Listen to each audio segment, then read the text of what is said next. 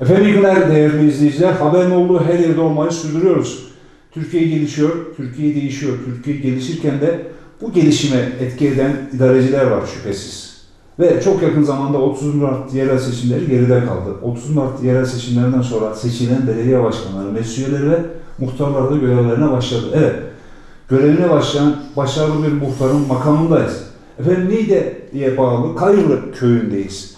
Hayırlı uğurlu olsun Sayın Muhtar. Allah Ziya razı olsun. Öztürk. Hoş geldiniz efendim. Teşekkür ediyorum. Allah razı olsun. Nasılsınız? İyiyim Allah şükürler olsun siz. Ben de iyiyim. Çok teşekkür ediyorum. Ee, Sayın Ziya Öztürk öncelikle çok misafirperversiniz. Türkiye buradan sizi duysun efendim. Gerçekten Türkiye'nin onur duyabileceği bir köy halkına sahibiz. Bu halkı temsil eden bir muhtarımız var. Yeni seçildi. 30 Mart'tan sonra göreve başladı. Ben sizi tanıyorum ama de Türkiye tanısın. Ziya Öztürk kimdir? Ziya Öztürk 1977 doğumlu. Niğde Kayırlı köyünde doğdum. İlkokul ve ortaokulu burada bitirdikten sonra iş hayatım serbest meslekle çalıştım. He, kendim belediye personeliydim daha önce burada iki yıldır. Son belediyemiz düşmeden.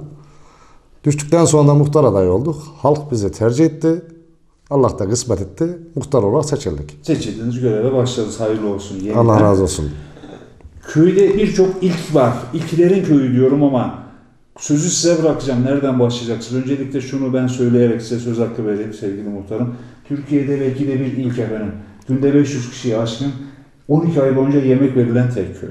Buradan başlamak istiyorum. Nasıl başarıyorsunuz bunu efendim? Birlik ve beraberlik üzerine kurulmuş bir köyümüz var. Ee, doğru. Günde 500 kişilik yemek çıkıyor bizde. Ramazan boyu bu. Diğer 12 ay Ramazan'dan harici de sadece yaşlı ve ihtiyarlarımız için özel sefer tasıyla yemek pişiyor.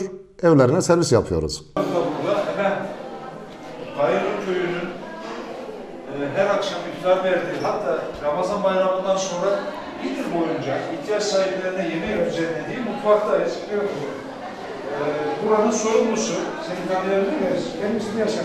Yaşar abi kaç yıldır burada yemek veriyorsunuz? 6 yıldır. 6 yıldır maşallah. E, şimdi tabii yemekleri yiyor, insanlar biliyor, geriye bulaşık kalıyor. Bunu kim hallediyor? Bunlar ikimiz var. İşçimiz var. Kaç işçimiz var? 8 tane takımımız var. Maşallah. Yanımızda bir de aşçımız var. Evet, aşçımız var. Onur musunuz efendim? Ben Nevşehir, Gülşehir, Yüksek köyünden. Nevşehir, Gülşehir, Yüksekköy'den aşçımız var.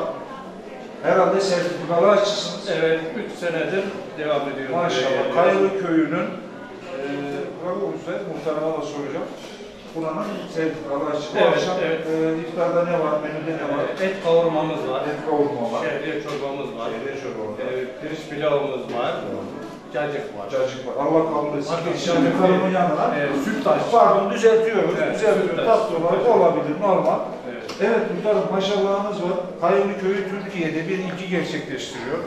Ramazan ayında her akşam aşağı yukarı 500'ü aşkın kişiye Evet. yemeği veriyor. Ramazanın dışında da ihtiyaç sahiplerine yine yemek burada pişiyor. Hayırsever iş adamı Yıldız. Ne Yıldız Eli? Necati Necati. Necati. Buradan saygılar hürmetlerini sunur. Değilse hayat, hayatta.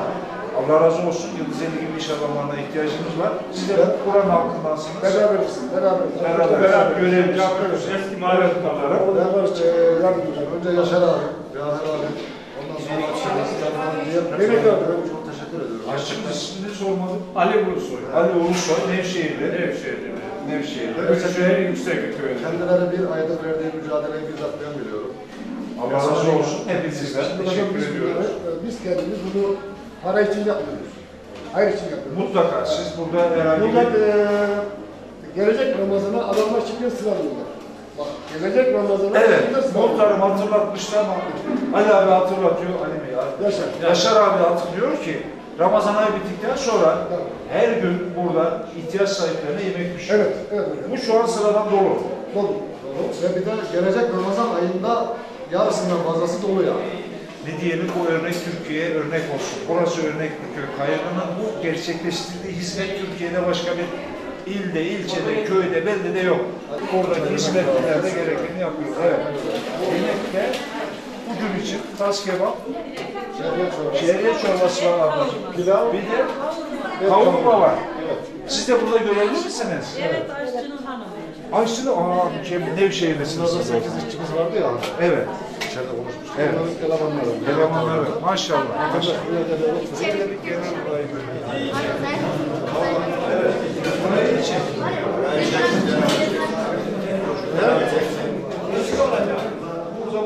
olayı böyle. Burada muhtarım gezdirdi. Ee, muhtarım şeyi gezdirdiniz mi? Ee, Şarkılı şey e, bizim çay ocağımız. sonra geçsin. Evet, oralarda gezmenizi istiyorum. Sevgili- Misafirhanelerimizi gezmenizi Teşekkür istiyorum. ediyorum Bünyamin Bey. Kayırlı köyünden olup e, bu hizmete katkı verenlerden bir tanesi inşallah. İşte elimizden geldiği kadar yani elimizden geldiği kadar e, o insanların teheccüdür. O bizim şöyle söylememiz pek uygun olmaz.